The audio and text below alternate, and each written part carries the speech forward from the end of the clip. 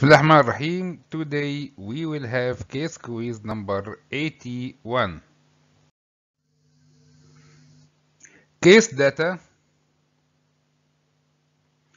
24 years old male white uh, ethnicity complaining of two week history of progressive worsening pain and the swelling of his right wrist and left ankle joints. So right wrist and left ankle joint pain and swelling. He had no fever, chills, night sweats, weight loss or rash. He was employed as a fireman. The patient uh, revealed no alcohol use disorder, no smoking cigarette or uh, uh, non-receiving of any recreational drugs. So no special habits. Family history for hypertension in his father and ovarian cancer in his mother. So positive family history of hypertension and cancers. Examination revealed vital signs were within normal limits with significant swelling of multiple joints including right wrist, right elbow and left ankle joint with erythematous and tender to touch. This leads to a limited range in the involved joint, limited range of motion in the, in the involved joints. Investigations revealed elevated white BCs of over 40,000 uh, uh, per microliter with neutrophil predominance, ESR shooting of over 100, exactly 118 millimeter for, for the first hour, and the CRP positive 8 mg per deciliter. A comprehensive metabolic panel was within normal limit. Infectious workup, including blood and urine cultures, were negative.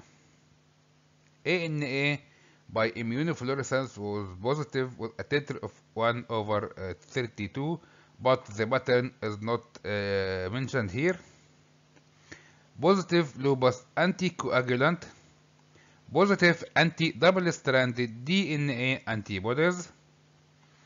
Ultrasound of the right elbow and left ankle joint revealed effusion in the joints and the surrounding soft tissue swelling. MRI of the right wrist revealed heterogeneous signal and enhancement of multiple carpal bones involving the second through the fifth metacarpals subcutaneous and deep soft tissue of the wrist and proximal hand.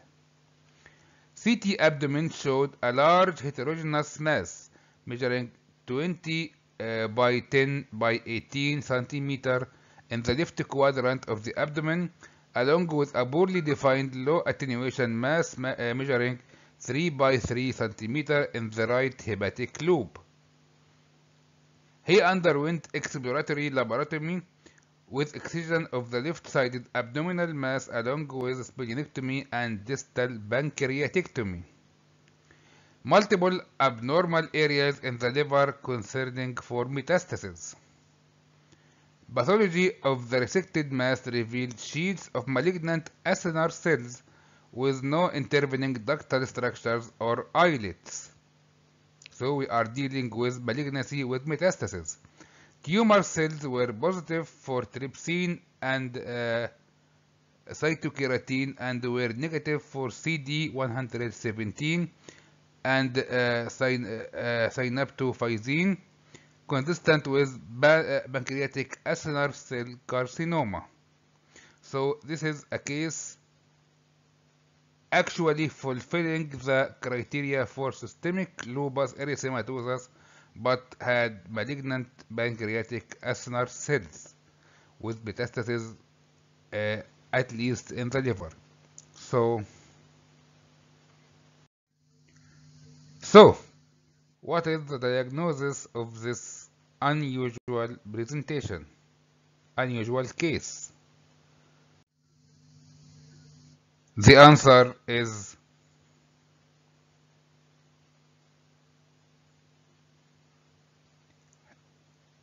hyperlipasemia, hyperlipasemia, which is one of the paraneoplastic syndromes.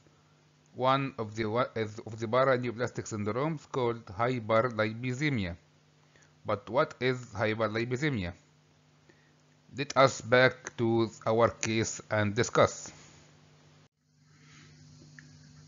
Our case in more details.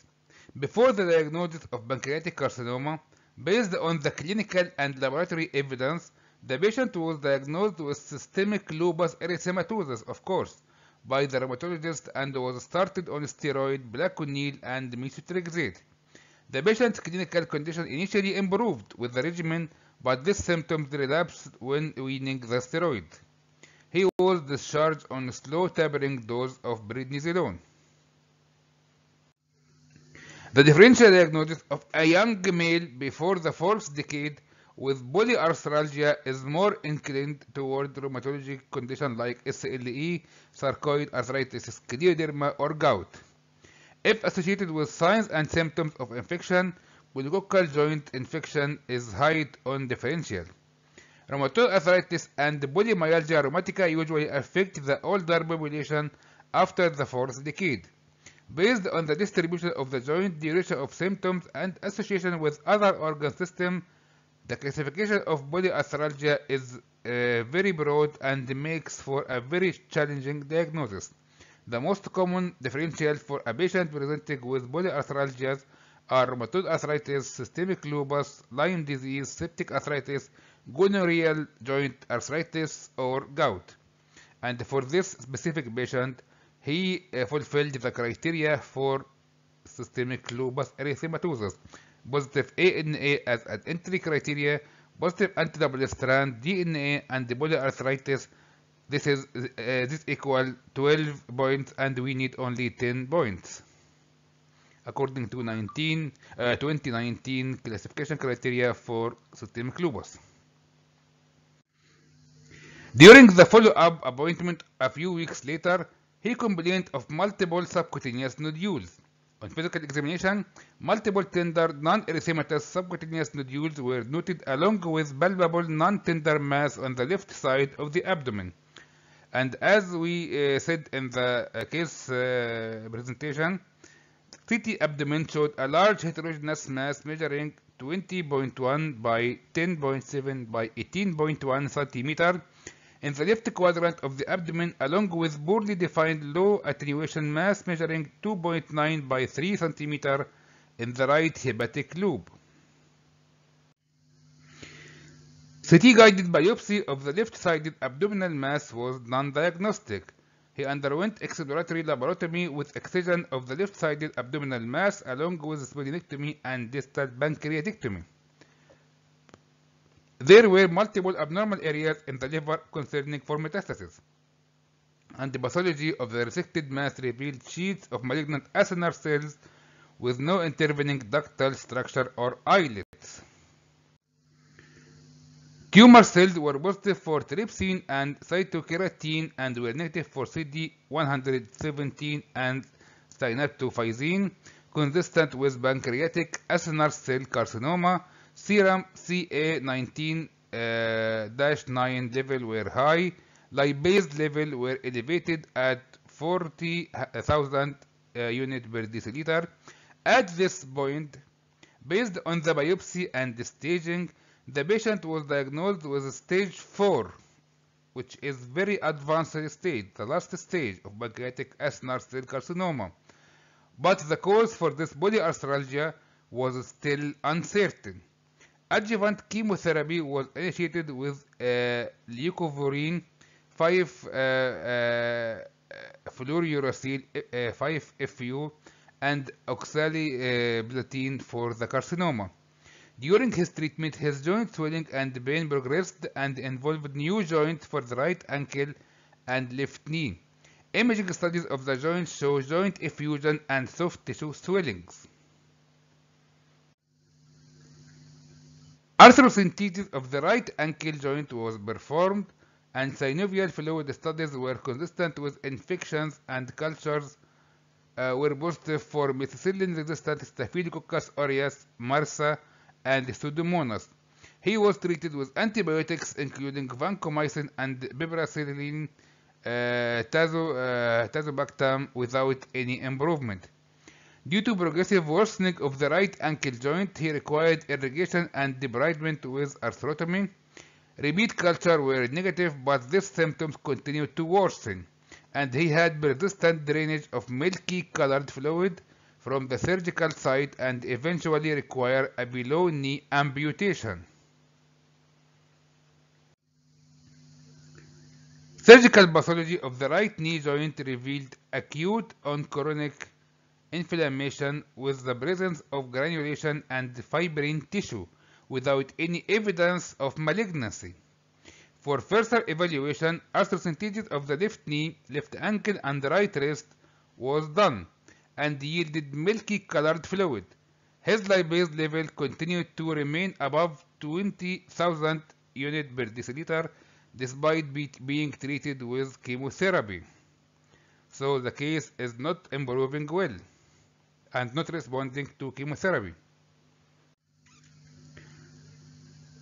Diagnosis The persistent drainage of milky colored fluid from all the involved joint lead to diagnosis of the cause of polyarthralgia in the patient.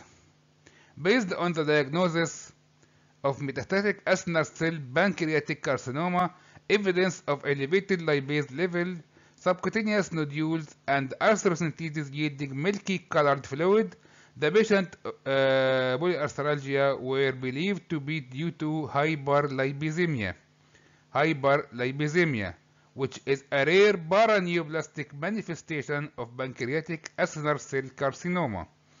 The painful subcutaneous lesions are caused by an inflammatory process known as panniculitis, which has been studied to be associated with polyarthralgia in patients with, with pancreatic acinar cell carcinoma. Pancreatic polyarthritis and panniculitis are hypothesized to be caused by the peripheral lipolytic activity of lipase circulating systematically due to pancreatic disease. So, the lipase is circulating systematically due to the pancreatic carcinoma and lead to panniculitis and polyarthritis. Regarding management, initial adjuvant chemotherapy was with leucovorin 5-FU and oxaliplatin, but given the lack of response, the chemotherapy was switched to uh, and subsequently to uh, gemcitabine and Abraxane. But in spite of this chemotherapy, the patient didn't have any response, and this clinical condition worsened. After goals uh, of care discussion with the patient and his family, he was transitioned to hospice care given his poor prognosis and the chemotherapy was discontinued and the patient lastly died.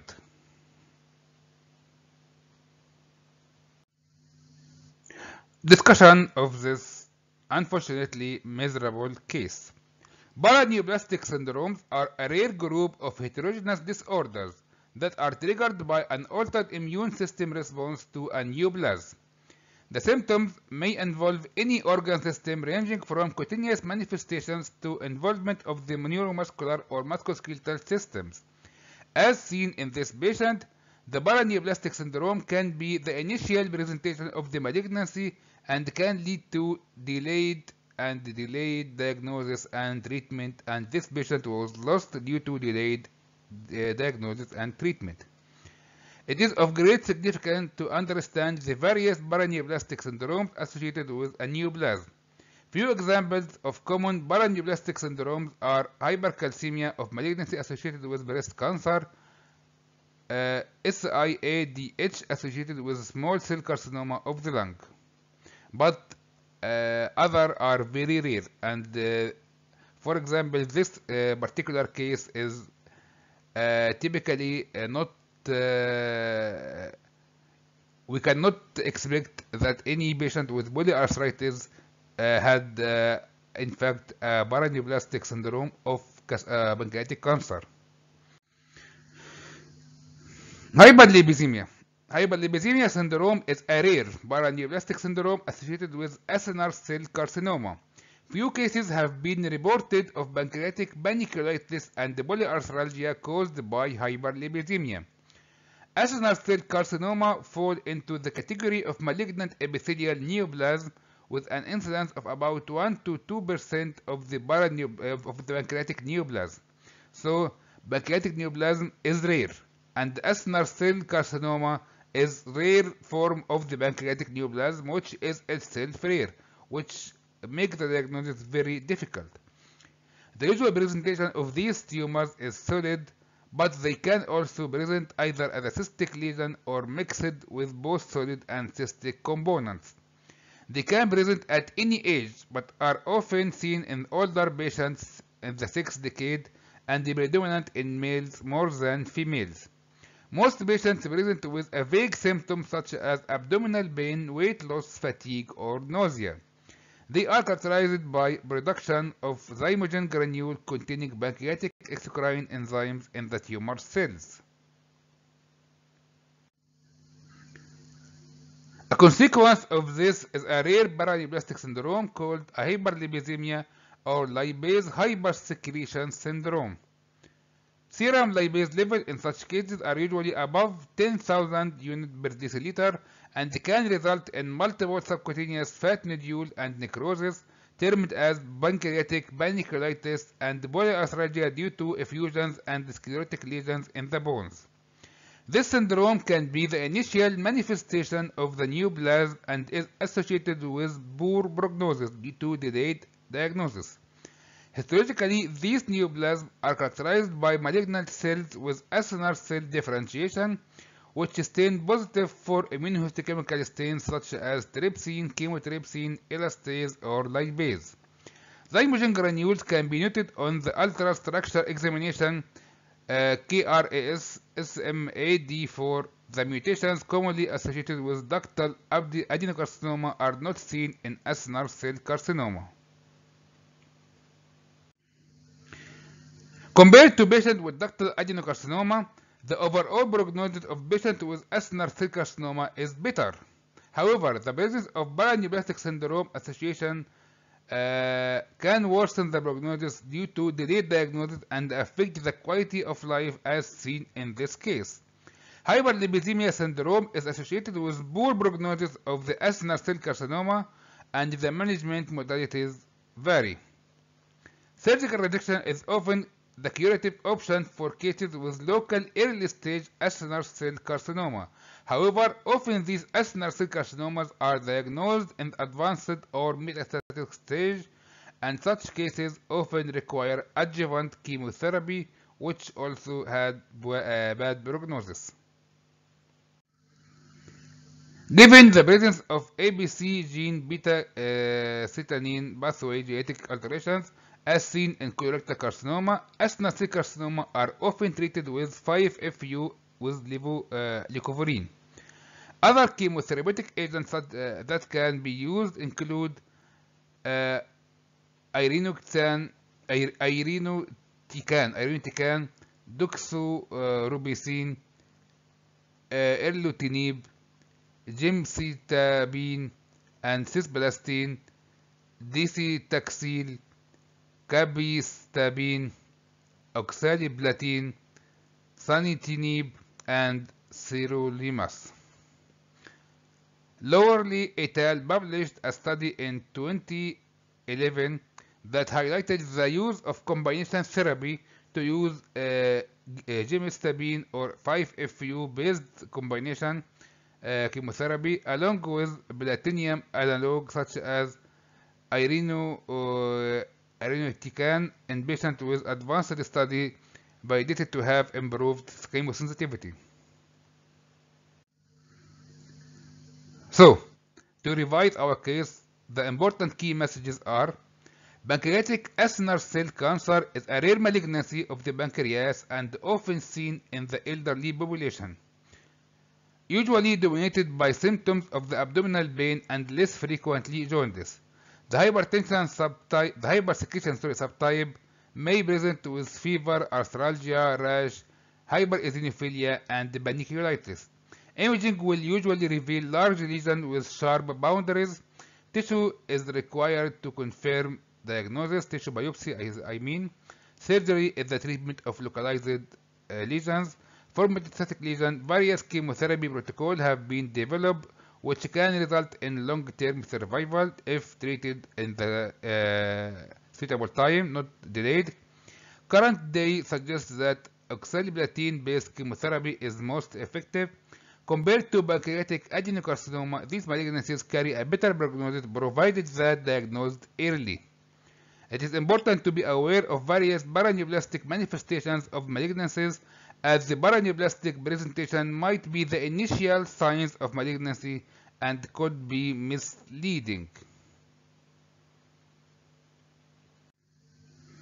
And finally, thank you very much for your attendance of this long and uh, uh, non-happy or uh, miserable case and we will meet you tomorrow with case quiz number 82 والسلام عليكم ورحمة الله وبركاته.